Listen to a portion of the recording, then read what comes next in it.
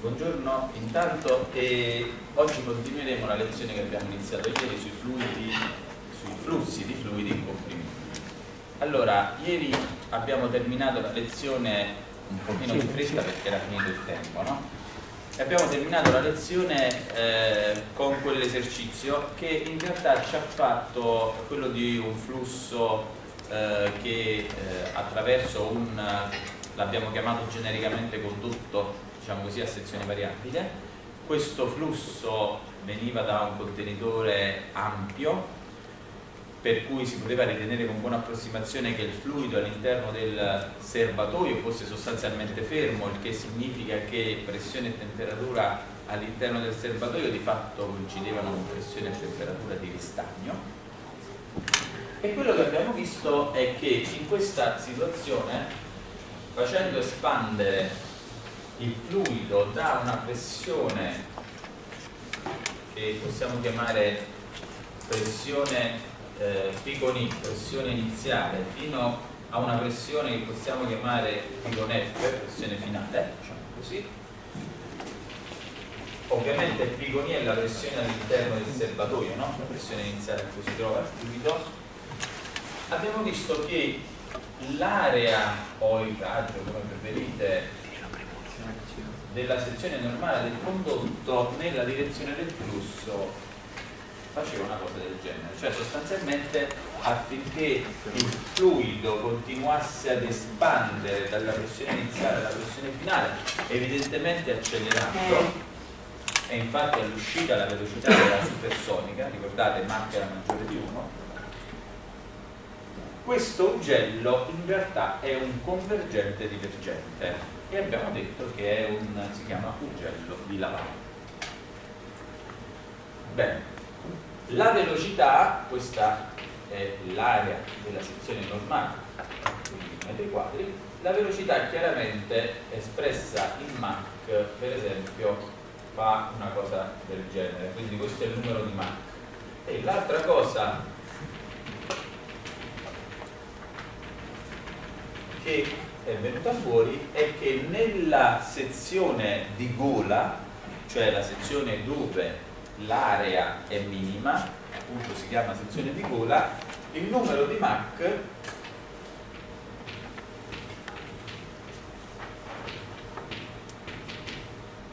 è pari a 1. Quindi il flusso è subsonico in questa zona, è sonico nella sezione di gola è supersonico in quest'altra zona, la zona di destra, ed esce da, eh, dall'ugello a eh, una velocità supersonica. Okay? Questo è il riassunto molto veloce di ciò che abbiamo eh, scoperto ieri facendo quel semplice esercizio. Bene, questa cosa in realtà è molto interessante perché è una peculiarità dei flussi di fluidi comprimibili che eh, da questo punto di vista evidentemente si comportano in maniera differente rispetto ai fluidi incomprimibili. Infatti eh, noi se vogliamo accelerare un fluido incomprimibile utilizziamo un convergente e eh, questo, in questo caso abbiamo detto che è un ugello, siamo ugello di Bernoulli. Bene. Eh, la domanda adesso è, ma eh, se avviene questa cosa forse è anche necessario, anzi sicuramente è necessario trovare un legame funzionale tra l'area della sezione e le altre grandezze, in modo che in effetti da ingegnere sono in grado di prevedere quale deve essere la forma di un condotto di questo tipo affinché io raggiunga all'uscita le condizioni desiderate. Capite? E allora è proprio questo quello che cerchiamo di fare adesso, cioè cerchiamo di trovare questa relazione funzionale e per trovarla utilizziamo la legge di conservazione della massa, la quale ovviamente ci dice semplicemente che la portata massica all'interno del componente è costante e cioè che la portata massica è pari a ρ per la velocità per l'area della sezione ed è una costante, allora posso scrivere che il differenziale dm punto che è uguale a dm punto su del rho del rho più dm punto su dw dw più dm punto su da da sarà pari a 0 evidentemente. E seguendo queste semplici derivate ciò che ottengo è WA del rho più rho A dW più rho W dA uguale a 0 e dividendo tutto per rho WA, cioè la portata massica, arrivo all'espressione. Che scrivo qui sulla destra del rho su rho più dw su w più da su a uguale 0 e questa relazione è fuori dal differenziale della portata massica che ovviamente è costante per la legge di conservazione della massa. La seconda relazione che utilizziamo è la conservazione dell'energia, la quale ci dice che in ogni sezione dovrà essere H più V quadro mezzi è uguale costante. Ricordiamoci che abbiamo iniziato a parlare di questo caso particolare premettendo che moltissime applicazioni ingegneristiche di interesse pratico sono schematizzabili come flussi di fluidi comprimibili adiabatici isoentropici. Vi ricordate questo aspetto? Di conseguenza in queste condizioni, in assenza di scambio di energia meccanica e di energia termica, ovviamente la legge di conservazione dell'energia si riduce a questa scrittura. E facendone il differenziale, dH più eh, il differenziale di questo termine è 2W dW mezzi, quindi 2 semplifica, è uguale a 0.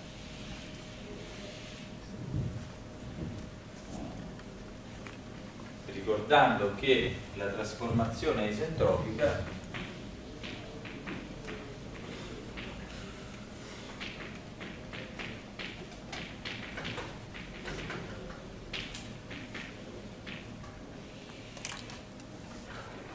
dalla seconda diviso avremo TDS è uguale a DH meno DDP, TDS è pari a 0 e quindi la terza relazione è DH uguale dP su ρ.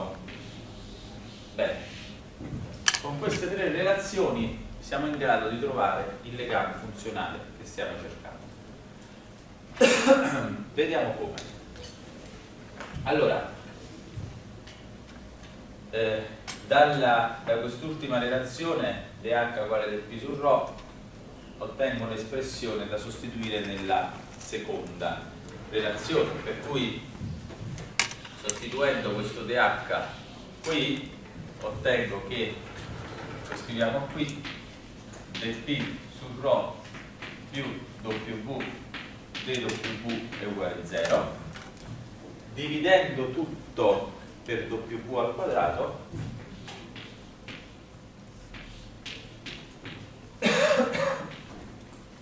ottengo un'espressione di dw su w che è uguale a meno del p su rho ah, scusate. Un po' raffreddato ora come potrete immaginare questa espressione qui la vado a sostituire qua dentro ottenendo del rho su rho meno del p qui c'è il W quadro che ho dimenticato il W quadro eh, su ρ più dA su A è uguale a 0 ora noi stiamo cercando la legge che esprime la variazione dell'area. Quindi dA su A posso mettere in evidenza del P su W quadro ρ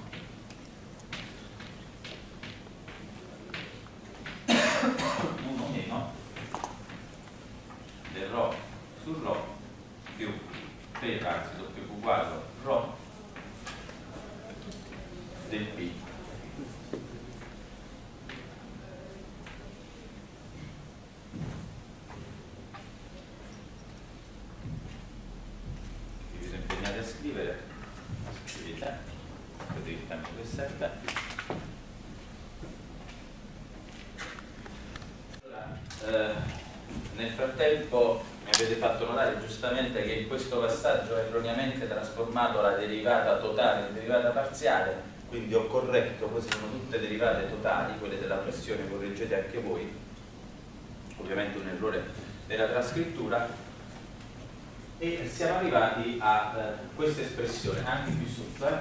questo è un dp e questo è un del Ok, correggete, anche voi da posto. Bene, ora ricordiamo che poiché questa espressione viene fuori anche utilizzando questa, questa espressione qui, voglio dire, è valida per trasformazione isoentropica sostanzialmente, vuol dire che questo dp su del ρ è un dp su del ρ a entropia costante, perché siamo di fatto lungo un'isentropica ed è proprio la definizione di velocità del suono nel mezzo al quadrato, ricordate? C quadro uguale dp su del ρ a entropia costante. Quindi qui abbiamo W quadro di fatto diviso C quadro, che è la definizione di numero di Mach, giusto?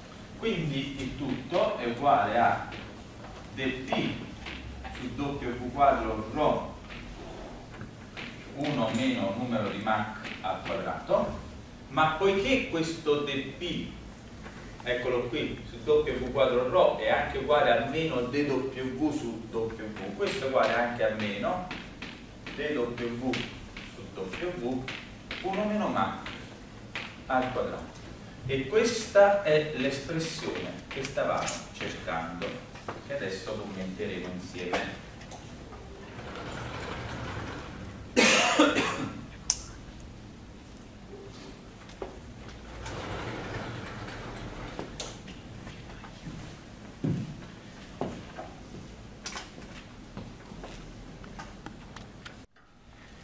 Ora, che cosa ci dice questa espressione? Allora, se guardiamo l'uguaglianza tra dA su A e il primo termine, cioè dp su eccetera eccetera, osserviamo che dA e dp lo stesso segno se il numero di Mach è minore di 1, quindi se il flusso è subsonico. Questo vuol dire che quando il flusso è subsonico se, voglio, se voglio far diminuire la pressione, cioè voglio che il fluido espanda, devo diminuire l'area, perché hanno DA e DP hanno lo stesso segno. E di conseguenza se voglio far espandere un flusso subsonico devo utilizzare un convergente, giustamente. Quando arrivo alla condizione di Mach pari a 1, sostanzialmente quello che ottengo è che il DA su DP è pari a 0. Ok?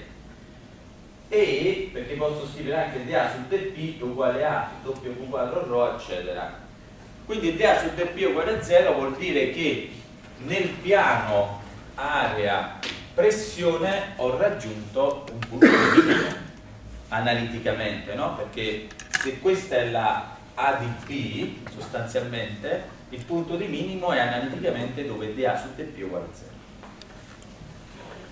e quindi il punto di minimo, questa cosa che vi ho appena detto, ci dice che il minimo di questa curva si trova dove il Mach, il numero di Mach è pari a 1.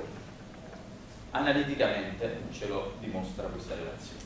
Dopodiché il fluido diventa supersonico, 1 meno Mach al quadrato diventa minore di 1 perché Mach è maggiore di 1 e allora dA e dP a questo punto hanno segno opposto. Quindi se voglio che il fluido continui ad espandere, questa volta non devo avere un convergente, ma un divergente, perché dp deve diminuire e dA deve aumentare. Ok? E allora questa relazione ci dice che se voglio un'espansione continua da pigon I a pigon F e all'uscita per un fluido che si muove con velocità supersonica, devo avere un tratto convergente nel, nella parte subsonica, poi avrò il punto di minimo che corrisponde proprio a Mach pari a 1, l'abbiamo visto, e poi un tratto divergente nella parte supersonica. Questo è il legame area-pressione. Se invece volessi guardare al legame area-velocità, va da sé che questa è un'equazione differenziale, poi integrata ci dà la legge di variazione dell'area, no? Questo credo che sia abbastanza evidente. In questo caso notiamo che dA e dW in realtà hanno segno opposto. Questo significa che se il numero di Mach è minore di 1, quindi siamo su flusso subsonico, se dA diminuisce, dW aumenta, quindi un ugello, un convergente, farà aumentare la velocità di un fluido che si muove a velocità subsonica. Però se questo fluido si muove a velocità supersonica, poiché 1 meno Mach al quadrato diventa minore di 1, allora dA e dV avranno lo stesso segno a velocità supersonica. E allora se prendo un flusso supersonico e lo faccio eh, dire, ehm, muovere all'interno di un convergente, magari pensando che il convergente lo accelera ancora di più, nella realtà il convergente ha l'effetto contrario, lo rallenta e lo riporta subsonico. Lo riporta subsonico e, e, e poi che succede? Provate a immaginare intuitivamente. Quello arriva supersonico all'interno dell'ugello in questo modo del convergente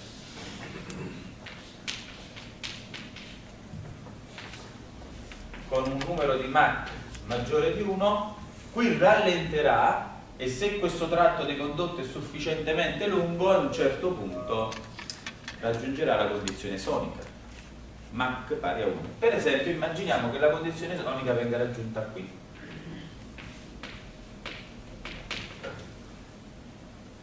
Va bene? A una certa distanza. In realtà però se questa è la distanza necessaria a raggiungere la condizione sonica a partire dalla velocità d'ingresso, che la chiamo L', questo divergente, questo convergente, scusatemi, è lungo L che è maggiore di L'. Quindi all'uscita che cosa ci sarà?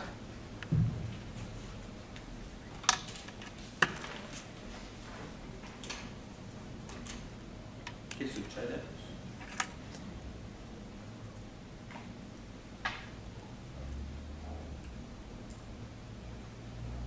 Allora, per stimolare il vostro ragionamento, facciamo, guardiamo il problema da un altro punto di vista. Immaginiamo di avere sempre il solito serbatoio molto ampio, va bene? E colleghiamo un convergente a un certo punto in questo modo. Eh, beh, il disegno mi è venuto un po' male, comunque questo è un convergente. Adesso cosa succede? Noi sappiamo che il fluido all'ingresso di questo convergente avrà velocità praticamente zero, poi inizierà ad accelerare secondo, secondo quanto abbiamo scoperto, a un certo punto raggiungerà la velocità somma. Bene, quindi qui ho una certa pressione, P con I, e qui ho una pressione in uscita che chiamo P con U lì abbiamo detto P con I, P con F, allora P con F all'uscita. Questo delta P ingresso uscita sarà ciò che governerà il flusso, perché questa P con F, che in realtà si chiama back pressure, e si indica di solito con P con B, appunto perché è una back pressure, questo delta P determinerà il flusso, l'entità del flusso, infatti basti pensare che se P con F è uguale a P con I non c'è delta P, non ci sarà flusso, per capirci. Bene, allora se questa pressione è abbastanza bassa, come in questo caso, da avere un flusso supersonico se il condotto è un convergente divergente, quando questo condotto si trasforma a parità di lunghezza in un convergente puro, Vuol dire che io a un certo punto teoricamente raggiungo la velocità del suono, giusto? Bene, ma la domanda è, eh, ma se ', raggiungo la velocità del suono magari qua, il che significa, dato questo delta P, è sufficiente una lunghezza L' di questo condotto convergente per uscire con una velocità sonica, avendo una lunghezza L superiore rispetto ad L', la domanda è quali saranno le condizioni di uscita se teoricamente io già con una lunghezza inferiore ho raggiunto le condizioni soniche? Capito cosa intendo dire? Il delta P è sempre lo stesso, semplicemente il convergente diventa più lungo. Quindi da L' dove la condizione sonica proprio all'uscita raggiungo Mach 1, passo a L pari, a, pari di, diciamo così, a parità di delta P, parità di forzante, ecco, che cosa succede? Secondo voi che cosa succede? Il flusso dovrebbe, eh, per continuare ad aumentare il numero di Mach, dovrebbe seguire un divergente, quindi in quel caso, visto che continua a convergere, eh, va a prendere il patrimonio energetico dalla pressione. Rallenta. Rallenta, quindi va, esce a Mach minore di 1. Secondo me nel momento in cui eh, arriva a velocità cioè con Mach pari a 1 poi scende sulla soglia del subsonico, a quel punto ricomincia ad accelerare e a quel, cioè oscilla attorno al valore di Mach pari a 1. Sì, questo è un ragionamento che mi sembra più logico. In effetti questo è un ragionamento intuitivo, no?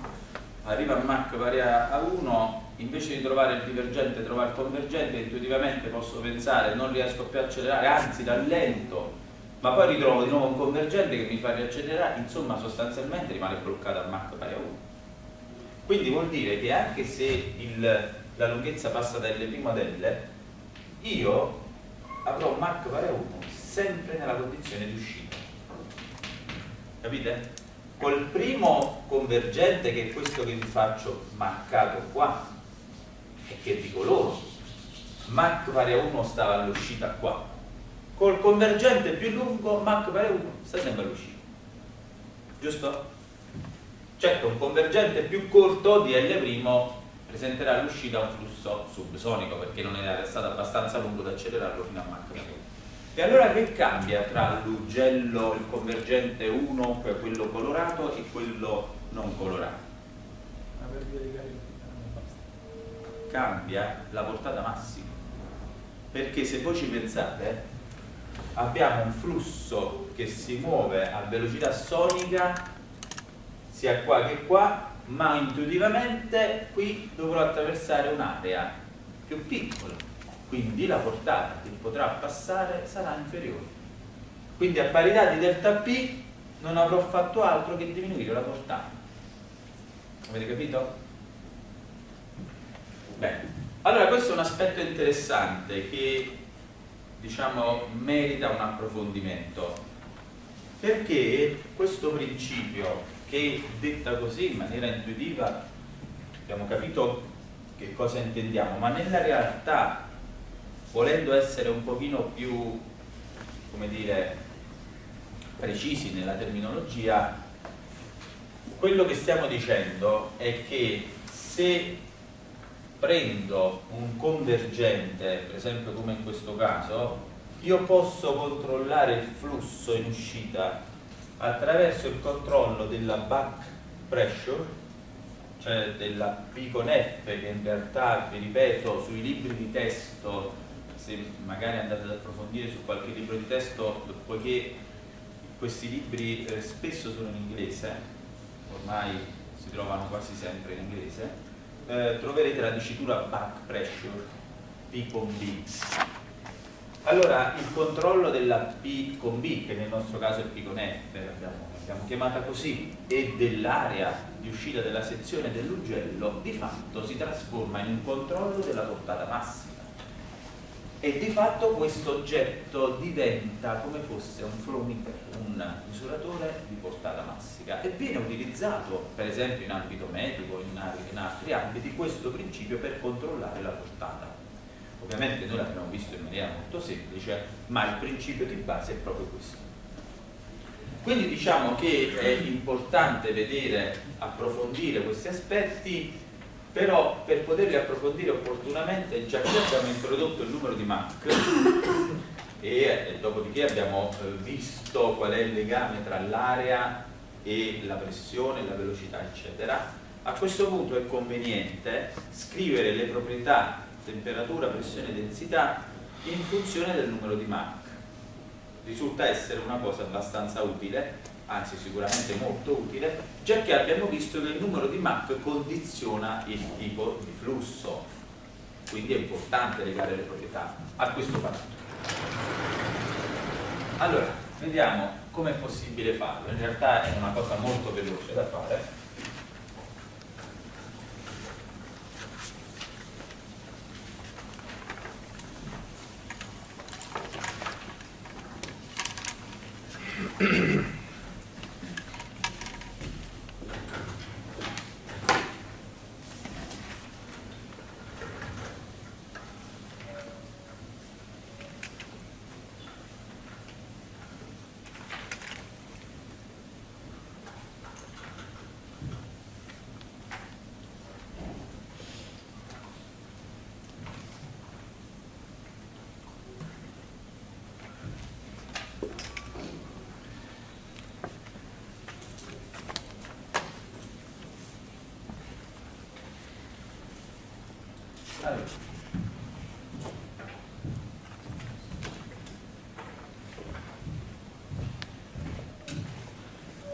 Ricordiamo che P0 è uguale a T più W quadro su 2CP. Ricordate relazione che veniva fuori dalla scrittura dell'entalpia di ristagno e dal fatto che il fluido è un gas ideale, no? per cui H uguale CP per T. Allora, eh, chiaramente se divido tutto per T, scrivo T0 su T è uguale a 1 più W quadro su 2 CP per T e va bene. A questo punto forse ricorderete da fisica tecnica una relazione che è la Mayer che avete visto quando avete studiato i gas reali, la quale ci dice che Cp meno Cp è uguale ad R. Questa relazione ci torna utile perché dividendo tutto per Cp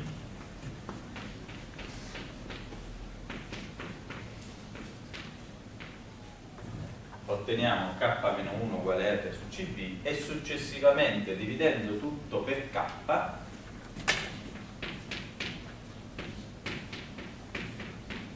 R su Cv diviso K, K CP su CP, K meno 1 su K uguale R su CP. Bene. e allora posso trovare un'espressione del CP che è uguale a KR su K meno 1 che vado a inserire qui sotto. E facendo questo il tutto diventa pari a 1 più k-1 mezzi che moltiplica w quadro su k rt.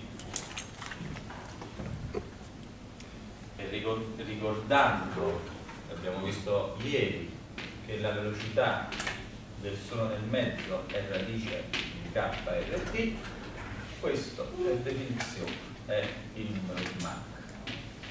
E di conseguenza tutto è pari a 1 più k meno 1 mezzi per il numero di Mach al quadrato. E quindi abbiamo un'espressione che lega la temperatura di ristagno alla temperatura stessa attraverso il numero di Mach e ovviamente il tipo di fluido entra in gioco attraverso K, che è il rapporto tra i calori specifici.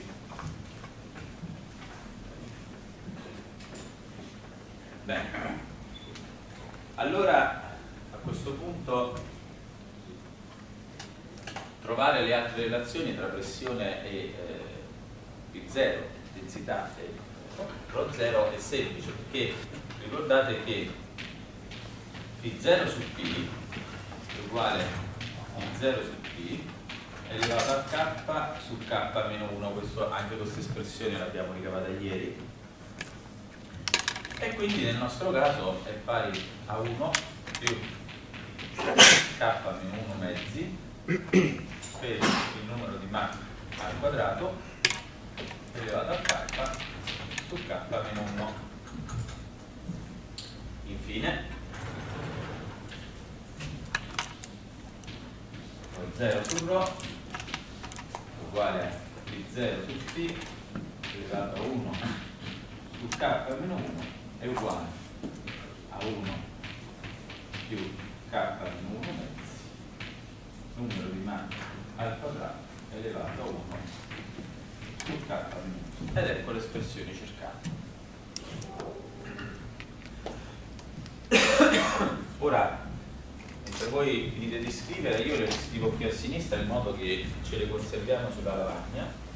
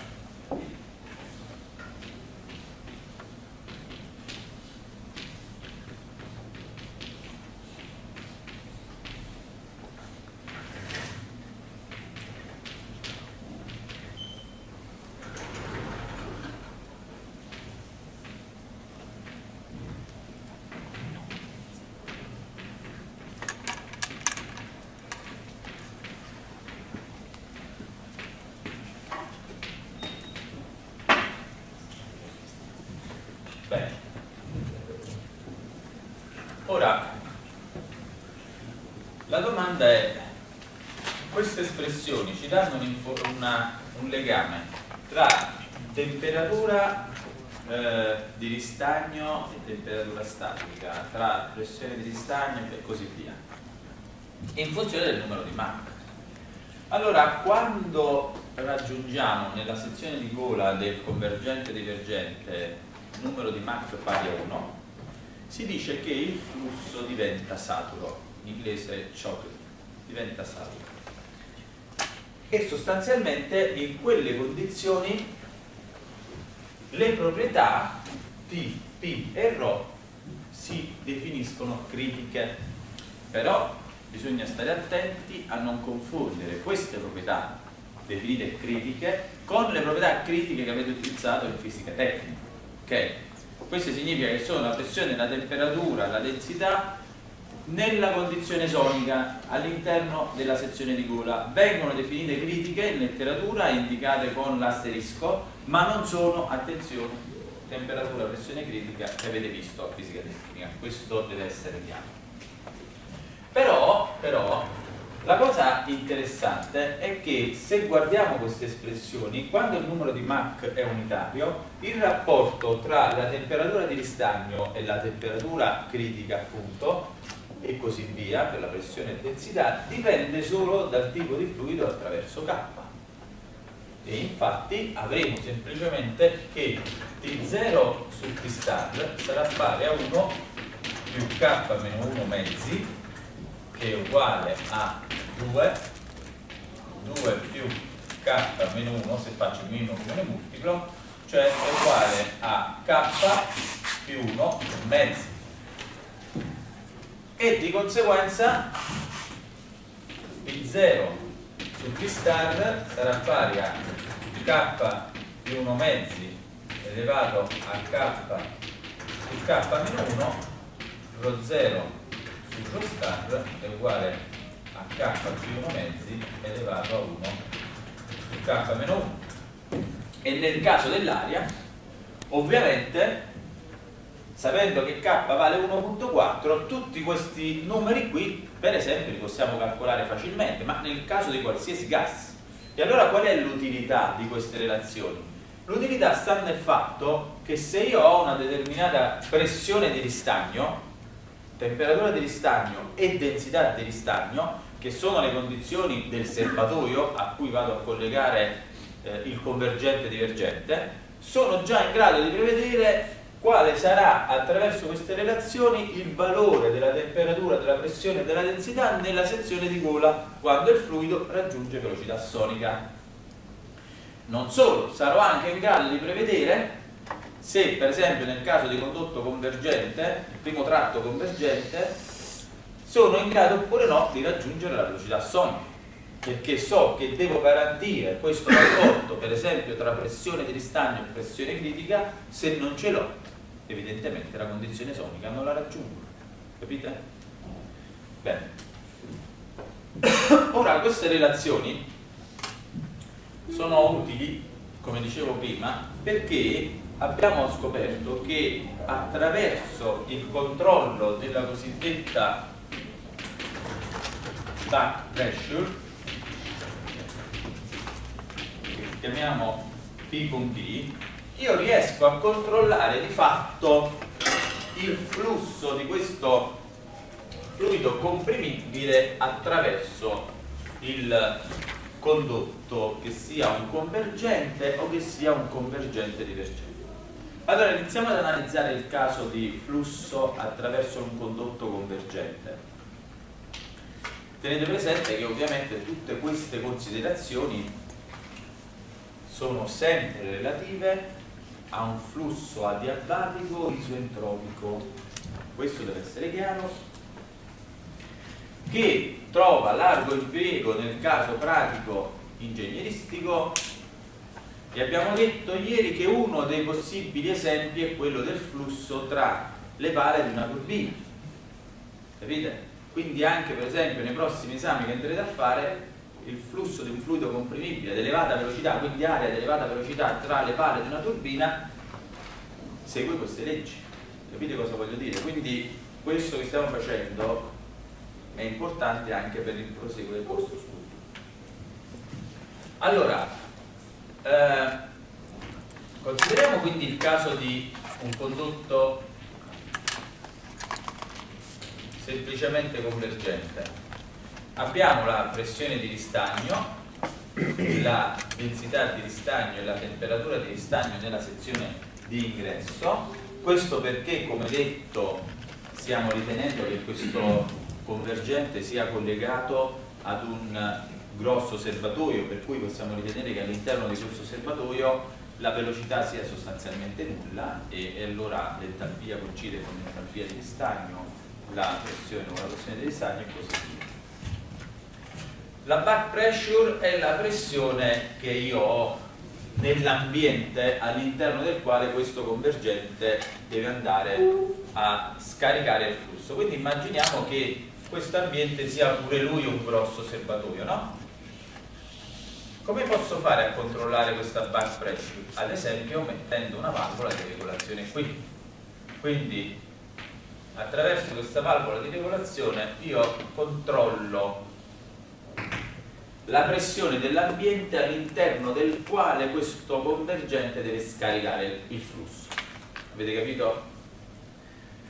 Ora, la P con B non è detto che coincida con la pressione che si trova esattamente nella sezione di uscita del convergente che chiamo, abbiamo chiamato P con F fino ad ora e continuiamo a chiamarla P con F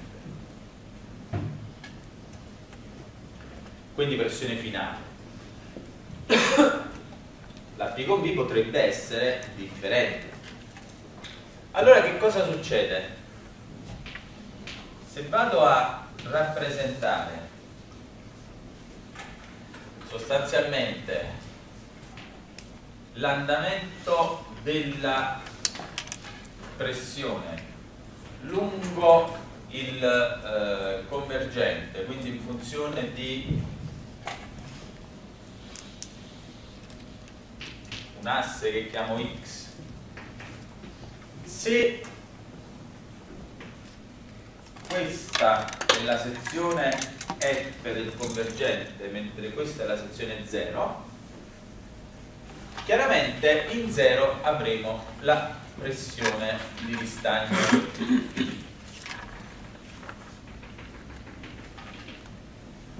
Se la P con B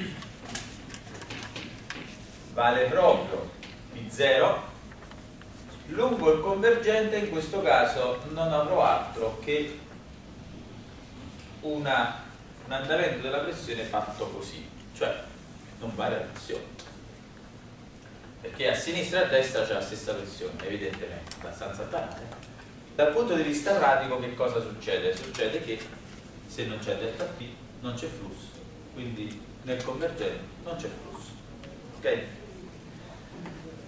Dopodiché io inizio ad abbassare la pressione. Magari la porto a questo valore qua.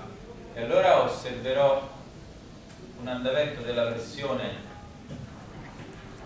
fatta così. Ovviamente P con B è minore di P con 0 e se all'uscita il numero di Mach è minore di 1 cioè io a mano a mano che diminuisco la pressione do al fluido un delta P da sfruttare a seconda del delta P che ha a disposizione accelera giusto?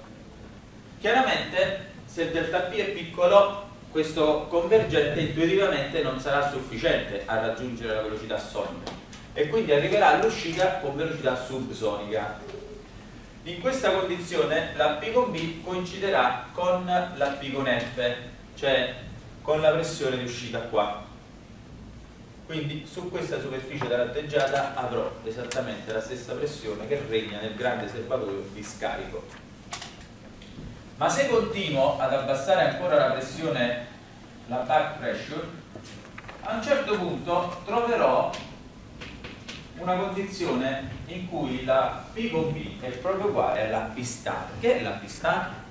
è il valore della pressione che abbiamo definita critica in corrispondenza della quale il flusso raggiunge nella sezione di gola, quindi nella, diciamo lì dove ho l'area minima, raggiunge la velocità sonica.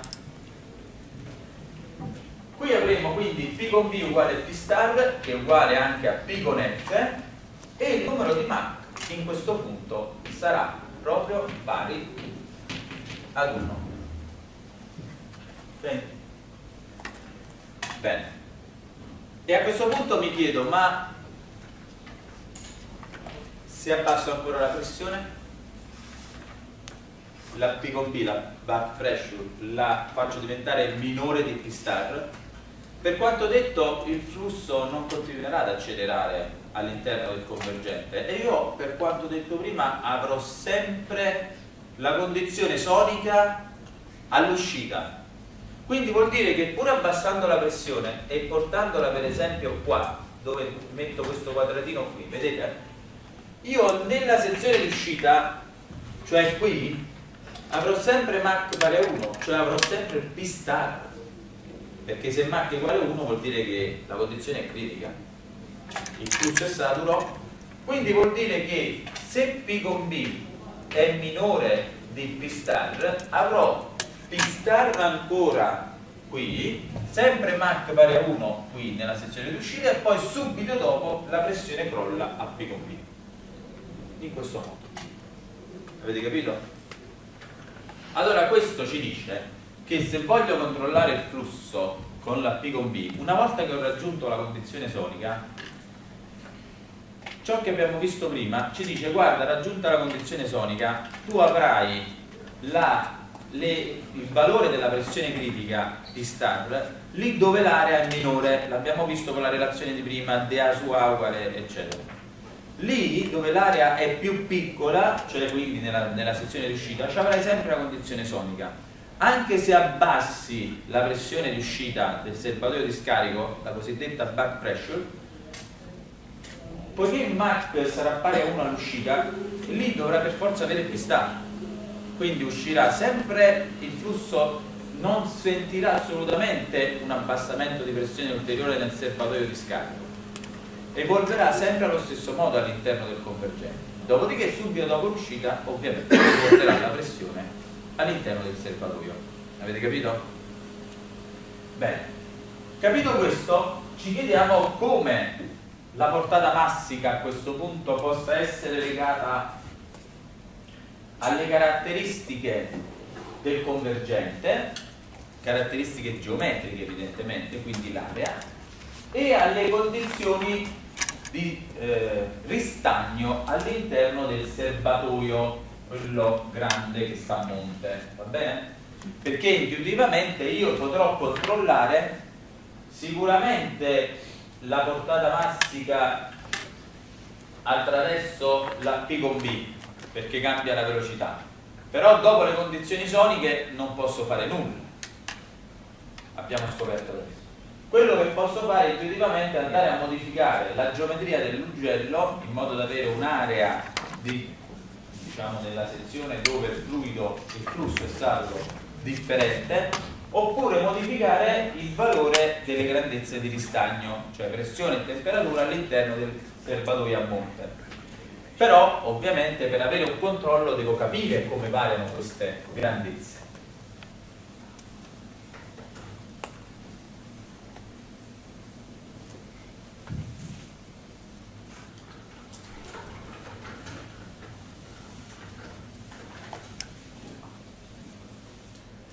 Allora, ciò che ci interessa è la portata massica, che è uguale a ρ per W per A. Ovviamente P è uguale a ρ RT, quindi posso prendere questa ρ e sostituirla qui dentro. Inoltre abbiamo che il numero di Mach è uguale alla velocità diviso la velocità del suono che è radice di KRT quindi posso prendere questa W e sostituirla. Qua dentro questo mi permette di scrivere il tutto come eh, RT su P per eh, numero di Mach per radice di KRT per l'area. E sistemando un po' le cose il tutto può essere scritto come R per il numero di Mach per l'area per la radice eh, mi sono dimenticato la pressione anzi la mettiamo dopo vai. Per la radice se porto um, qui ho messo al contrario ho messo RT su P ma è P su RT vedete P su RT P su RT, correggete se avete sbagliato anche voi, quindi sistemiamo. Allora, uguale pressione per il numero di Mach per l'area per la radice di KRT, poi porto dentro la radice RT, quindi al, al denominatore R quadro, P quadro, faccio qualche passaggio in più solo per una questione di chiarezza, eh? quindi tutto posso scriverlo come P su radice di T per il numero di Mach per l'area, per la radice di K su R, giusto?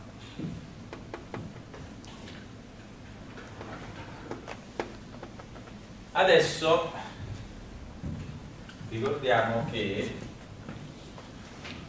il 0 su P è uguale a 1 l'abbiamo visto prima quindi io lo riscrivo poi non è necessario riscriverlo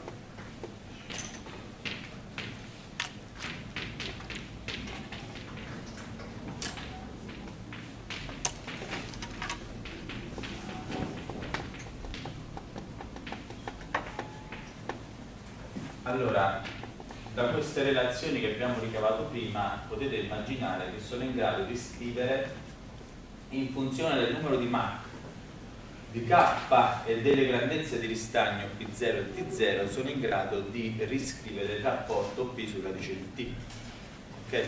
che quelle non sono grandezze di ristagno però posso legare le grandezze di ristagno con queste relazioni e in particolare mettendo insieme queste due P su radice di T sarà pari a P0 su radice di t0 che moltiplica allora 1 più k meno 1 mezzi numero di Mach al quadrato elevato a un mezzo ed è questo pezzo qua. Quest'altro è 1 più k meno mezzi numero di Mach al quadrato elevato a k su k meno 1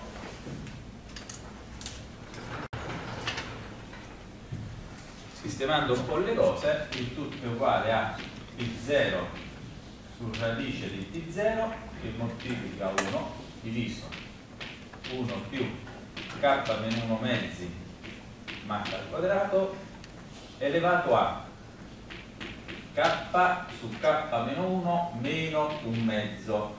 Se faccio il minimo comune multiplo questo è uguale a 2 k-1 2k meno k più 1 cioè uguale a k più 1 diviso 2 k meno 1 e questo facendo il minimo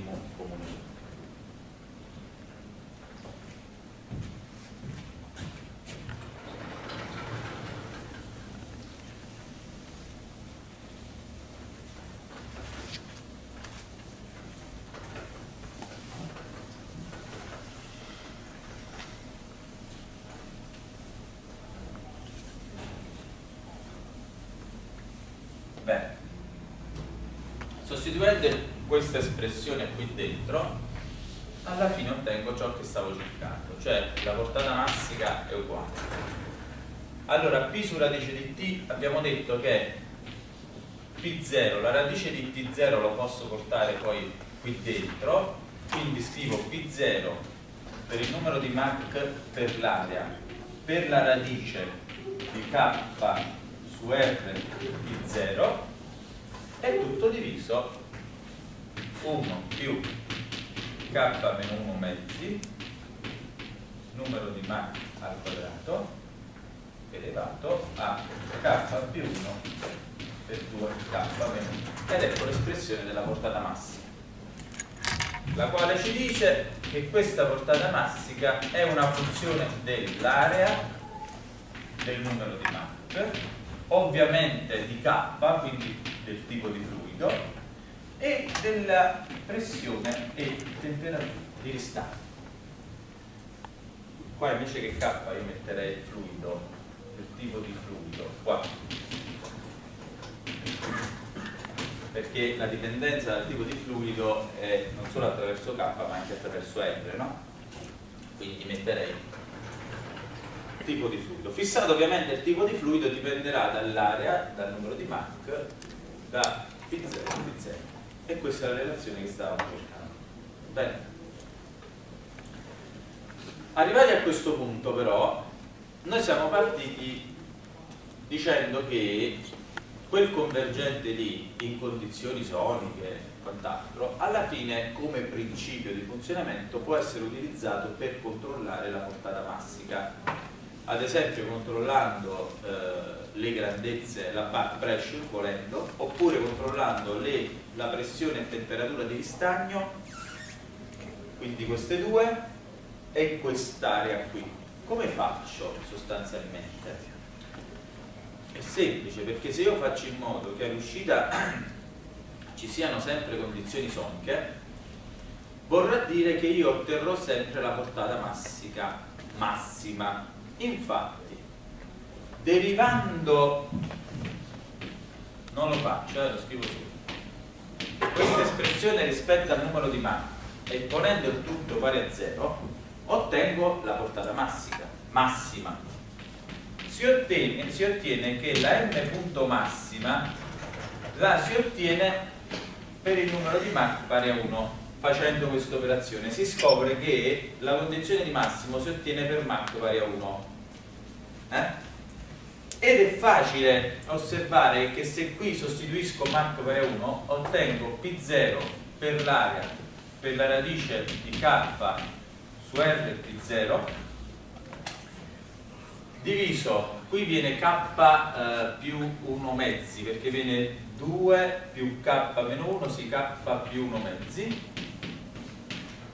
elevato a K più 1 più 1 diviso 2 k-1 e allora questo significa che se all'uscita ho un condotto convergente tale che la sua lunghezza è diciamo sufficiente ad avere sempre condizioni soniche in un certo range di P0 e T0 nota l'area di uscita cambiando questo P0 e questo T0 avrò una portata massica che è questa. Essendo sicuro di aver raggiunto la condizione sonica d'uscita quindi io controllando questo vario la portata massima. Al contrario se misuro questi due e so che sto in condizioni soniche all'uscita avrò il valore della portata misurare la portata. Comunque sostanzialmente sulla base di queste relazioni abbiamo scoperto che c'è un legame tra la portata massica massima e appunto questi parametri.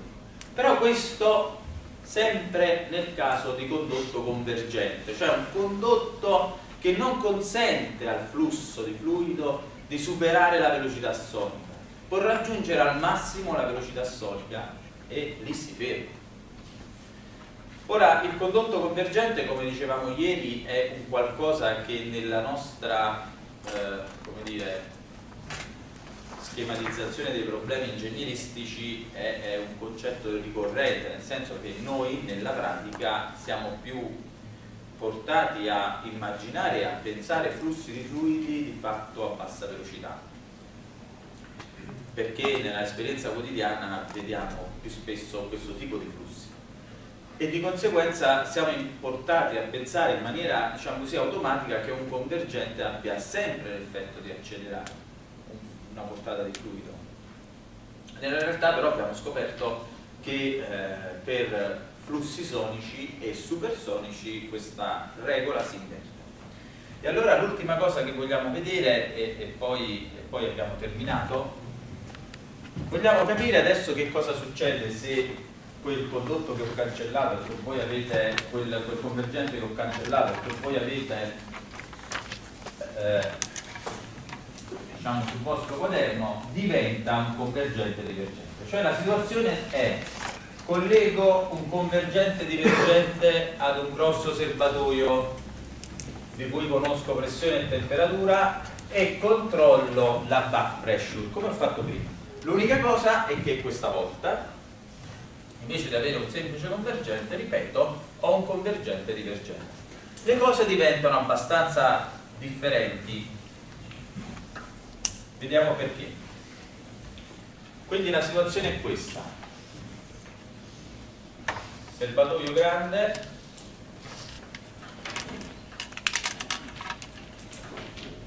convergente, divergente, in questo modo qua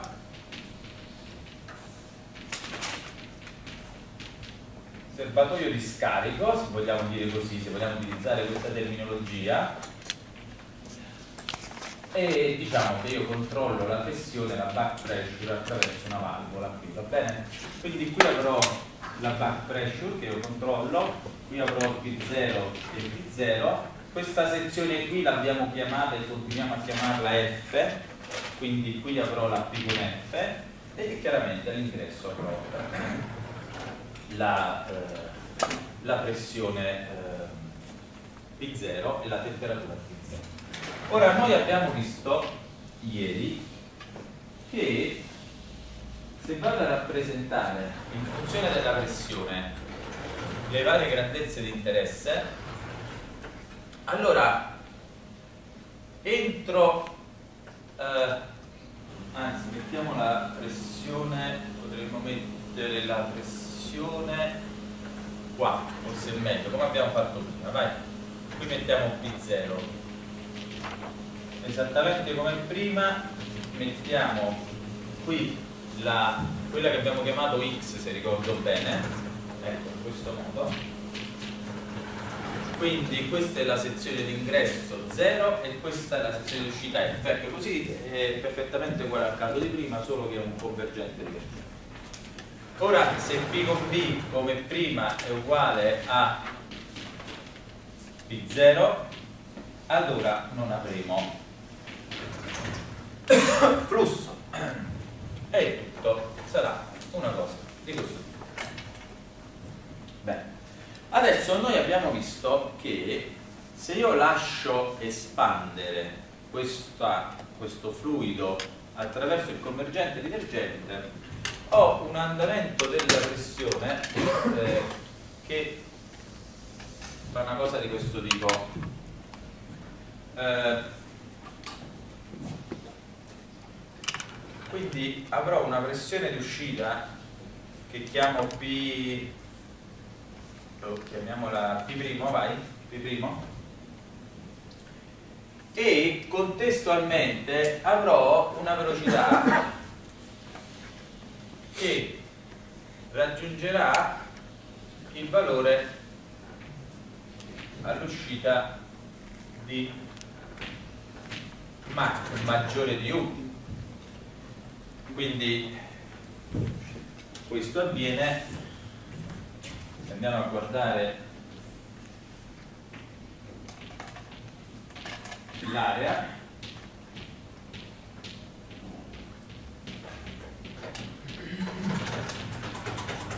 Avviene nella sezione di gola se questa è l'area. Eh? quindi qui avrò sostanzialmente Mach pari Beh, quindi questa è la situazione. Se io ho questa pressione all'uscita, ovviamente il fluido espande, la velocità accelera, diventa supersonica, è sonica nella sezione di gola e così via. Però, quindi dicevamo, eh, se la pressione è minore o uguale di un certo valore all'uscita, insomma seguirò questo andamento lungo l'ugello, un andamento continuo quindi la pressione varia con continuità e la velocità diventa supersonica. Ora però, se all'uscita ho una pressione che non è un delta P che non è sufficiente, che cosa succederà? Succederà che nel tratto convergente la velocità aumenterà, eh, quindi la pressione diminuirà ma arrivato nella sezione di gola così il numero di Mach non sarà unitario perché il delta P non era sufficiente ad accelerare il flusso fino a velocità sonica nella sezione di gola.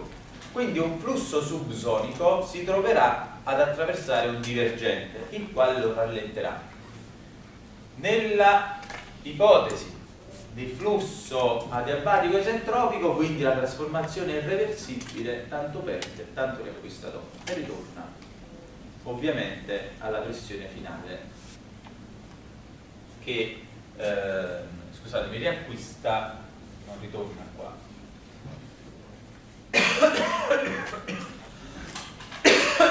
Scusate. Eh, allora, eh, riacquista come pressione di uscita la pressione di uscita di ristagno, guarda la pressione di ingresso, ma non la pressione statica, chiaramente, perché c'è un contributo di velocità. Ora, questa cosa qui avviene fino a che, continuando a diminuire la back pressure, arriverò alla situazione in cui il fluido raggiunge l'ugello, eh, scusate, raggiunge la condizione di gola a velocità appena sonica, ma non riesce a superare questa sezione di gola con velocità supersonica per cui poi continua ad accelerare ma di fatto appena supera la sezione di gola si ritrova a rallentare di nuovo quindi si trova giusto prima della possibilità di accelerare di nuovo seguendo ancora un andamento di questo tipo ma poi riprende a rallentare che cosa succede a questo punto se scelgo una back pressure ancora più bassa? Quindi parto con il valore P0, nessun flusso. Inizio a scendere con controllo la pressione P con V, inizia il flusso, ma è subsonico nella sezione di gola, quindi arriva alla sezione di gola e rallenta di nuovo poi diminuisco ancora a un certo punto arriva nella sezione di gola che praticamente è sonico ma non supero questa sezione di gola con velocità sonica per cui continuo ad accelerare eh, ma di nuovo rallenta va bene? Abbasso ancora un pochino. Allora questa volta arrivo nella sezione di gola che è sonico ed è nella condizione di poter accelerare all'uscita. Quindi supera la sezione di gola trova il divergente è supersonico bene allora continua ad accelerare ma la pressione d'uscita è maggiore di quella che io mi dovrei avere per avere un andamento bello continuo della pressione fatto in questo modo. Quindi lui continua ad accelerare ma fino a un certo punto a questo punto che cosa avviene?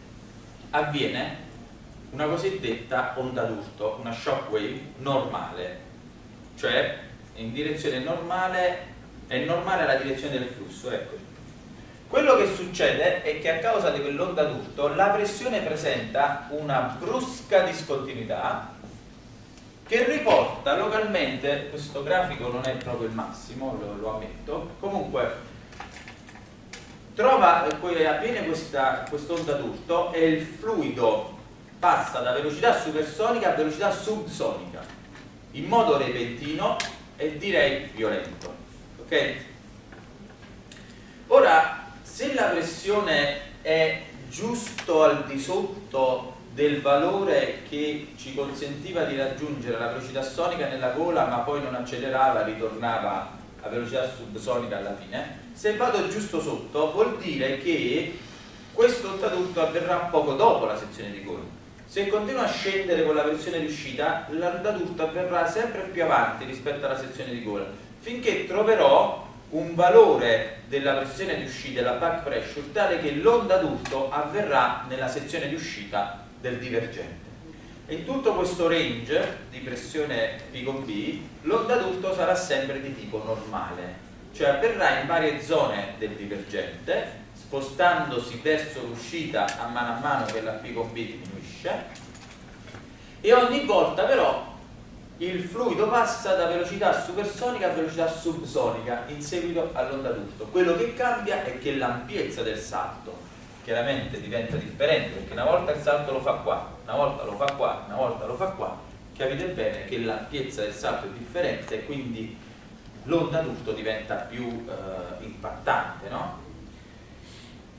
Una volta che l'onda d'urto avviene all'uscita, il che può avvenire per un certo valore della back pressure, che potrebbe essere questo, se io mi trovo in questo range si creano delle onde d'urto oblique, perché partono dal bordo di uscita e diventano oblique. Da questo punto in poi invece tutto funziona correttamente. Va bene? Allora, affinché tutto ciò che ci siamo detti continui a funzionare, io non mi devo trovare in presenza di onde d'urto perché le onde d'urto non sono isentropiche sono un meccanismo che sicuramente non è reversibile sicuramente non è isoentropico. Quindi va bene se non raggiungo la condizione sonica il tutto è isentropico posso prevedere quello che succede con le relazioni scritte va ancora bene se raggiungo la condizione sonica e poi rallenta perché non ci sono discontinuità va male se ci sono le onde d'urto normali o oblique e dopo ancora funziona se eh, appunto siamo in una condizione di uscita tale da non avere più onde d'urto. Allora tutti questi aspetti vanno tenuti in debita considerazione quando si dimensionano questi convergenti e divergenti che eh, ovviamente per quello che ci siamo detti di, mh, come dire, eh, sono descritti da relazioni che legano le proprietà di ristagno, la portata, eccetera, eccetera, eh, tra le altre cose all'area della sezione di uscita. Ora vi faccio, mh, mm, vi invito a pensare, non so quanti di voi hanno visto video di eh, aeroplani a reazione caccia, per intenderci, che magari eh, accendono i motori, decollano, eccetera. Se ci avete fatto caso, quando il motore è eh, diciamo a bassi giri, sostanzialmente, l'ugello dietro è convergente, ma quando accelerano e, e peggio ancora danno il post bruciatore, si apre completamente e diventa praticamente un divergente. Questo appunto perché la legge di variazione evidentemente dell'apertura di quegli ugelli dietro al motore sarà tale da garantire sempre le migliori condizioni al flusso ed evitare le onde d'urto. Capite? perché altrimenti quella diventa energia persa che non è più propulsione, ma d'altra parte non funziona nemmeno più bene perché il flusso all'uscita diventa magari subsonico. Okay? Quello è un esempio che magari se andate a vedere su YouTube, eccetera, vedrete che quando danno tutto gas, gli ugelli dietro si aprono. Adesso, ultima cosa, giusto per capire, questo, quest'onda d'urto che, eh, che si verifica è un'onda d'urto molto sottile che sicuramente non è eh, isoentropica, ok? E che però se io eh, scelgo come volume di controllo quello che contiene l'onda d'urto e vado a scrivere i bilanci, quindi la massa, quindi li muovo insieme all'onda d'urto, quindi vedrò della massa che attraversa il volume di controllo, m con 1 uguale m con 2 dopodiché faccio il bilancio di energia e il bilancio di quantità di moto quindi il bilancio di massa, il bilancio di energia, il bilancio di quantità di moto come lo faccio quest'ultimo? tenendo presente che sulle superfici di questo volume di controllo agiscono la pressione P con 1 e P con 2 per cui le forze sono date dalla pressione per la superficie e che cosa dice il, la conservazione della quantità di moto? Che la variazione della quantità di moto è uguale alla risultante delle forze esterne. La risultante delle forze esterne è data dall'azione di questo delta P, la variazione della quantità di moto è la massa per la differenza di velocità tra destra e sinistra. Ora, prima della shock wave abbiamo velocità supersonica, dopo abbiamo detto che è invece subsonica, quindi c'è una variazione di velocità importante. Ora quindi mettendo insieme conservazione della massa, conservazione dell'energia e conservazione della quantità di moto, quello che si osserva è che su un piano, ve lo dico giusto per completezza ma non andiamo nel dettaglio, eh? Su un piano HS l'unione della conservazione della massa e conservazione dell'energia dà luogo a una serie di punti che, che diciamo che eh, rispettano entrambe queste leggi che giacciono su una linea che si chiama linea di Feynman mentre conservazione della quantità di, della mh, portata massica e della quantità di moto insieme giacciono su un'altra linea che si chiama linea di Rayleigh vabbè eccetera. Ora, lì dove si intersecano queste due, vuol dire che tutte e tre sono soddisfatte. Cioè, conservazione della massa, dell'energia e della quantità di moto. Perché questo concetto è interessante? Intanto perché l'intersezione avviene in due punti caratterizzati da entropia differente, quindi cioè diciamo tutte e tre le equazioni sono soddisfatte qui e qui e questi due punti hanno entropia differente quindi non sono alla stessa entropia. Da qui a qui avviene l'onda d'urto lo schiamo in italiano ma onda d'urto io ho fatto una freccia in realtà se volessi fare una trasformazione dovrei farla tratteggiata perché essendo una trasformazione che non è una successione di stati di equilibrio io non posso ovviamente tracciarne il cammino. Ma questa freccia indica che l'onda d'urto ci farà saltare da qui a qui da pressioni più elevate a pressioni più basse e la, la velocità sarà ridotta perché il salto di entalpia corrisponderà a una riduzione di velocità e ovviamente è tutto irreversibile. Ok? Chiaramente maggiore sarà l'intensità dell'onda d'urto, maggiore sarà questo salto. Avete capito? Bene. Allora, chiaramente noi non, non entriamo nel merito delle onde d'urto, vogliamo semplicemente capire che questa è una problematica che esiste, che è una problematica che nella modellazione, perché questo è quello che ci interessa, dei nostri problemi termofluidodinamici comprimibili può creare grossi problemi perché come la descriviamo? Capite che è, è, non è facile descrivere un'onda d'urto numericamente. E allora che cosa fare se ci troviamo nella condizione di dover modellare un flusso comprimibile? Quali sono le differenze? A questo punto, tutto ciò premesso, le differenze sono semplici, in realtà. Allora, la prima differenza è, evitando le onde d'urto, vi ricordate che l'equazione di conservazione della massa aveva un termine del ρ su dt? Cioè la, la conservazione della massa era noi avevamo scritto prima tutte le equazioni di conservazione, se andate a vedere sul vostro quaderno, le avevamo scritte in forma generale e poi le abbiamo particolarizzate nel caso incomprimibile. La conservazione della massa era del ρ su dt più la divergenza di ρ u vetture uguale a 0, lo ricordate?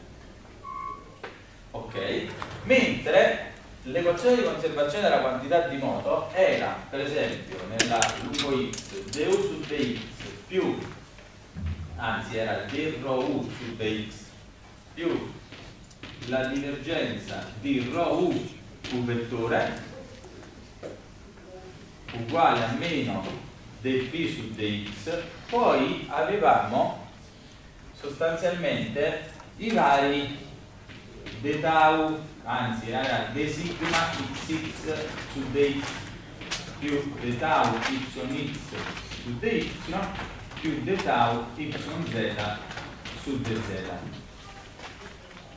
Ora vi ricordo che queste sigma erano legate attraverso il modello di fluido newtoniano alle, abbiamo chiamate, deformazioni e c'era una deformazione volumetrica, lambda divergenza di U, ve la ricordate? Andate a vedere sul vostro quaderno, la trovate, che abbiamo detto che è pari a zero perché il fluido è incomprimibile. Ebbene, quel termine lì non sarà più zero. Questi termini qui dovranno essere scritti in questo modo perché ρ non è più costante ma varia nello spazio e nel tempo, se il fluido è comprimibile, il ρ varia.